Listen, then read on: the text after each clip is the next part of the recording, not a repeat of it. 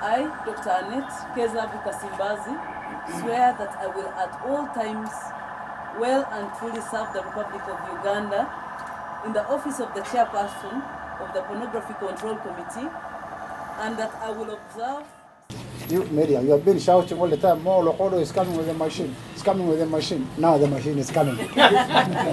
These are the people whose duty is to expedite the development or acquisition and installation of an effective protective software in electronic equipment such as computers, mobile phones, televisions for the detection and suspension of pornography.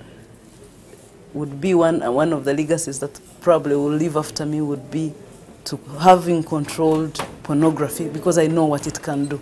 So for me as an individual, I'm ready. I've spoken to the committee.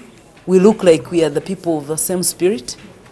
And then what is very even more pleasing is that there are many other organizations out there ready to join us to stamp out this vice of pornography.